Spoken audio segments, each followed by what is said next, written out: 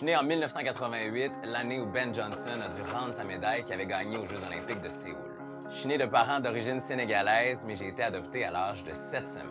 J'ai passé toute mon enfance à Québec. Quand j'étais jeune, j'avais deux modèles. D'abord mon grand frère, François, et Ronaldo, le joueur de soccer. C'est d'ailleurs grâce à mon frère que j'ai découvert le soccer. J'y joue depuis que j'ai l'âge de 3 ans et le plus grand moment de ma carrière, c'est arrivé quand j'avais 13 ans, quand je suis allé aux Jeux du Québec. J'étais quand même pas. De 9 à 12 ans, j'ai joué du piano, puis ma grand-mère, c'était probablement ma meilleure coach. Mais à 13 ans, pour devenir aussi cool que mon frère, je me suis mis à jouer de la guitare. À la fin de mon enfance, j'écoutais du Millen Collins, du Pennywise, du Offspring. Et à l'adolescence, je me suis vraiment identifié à la culture afro-américaine et je me suis mis à écouter beaucoup de hip-hop.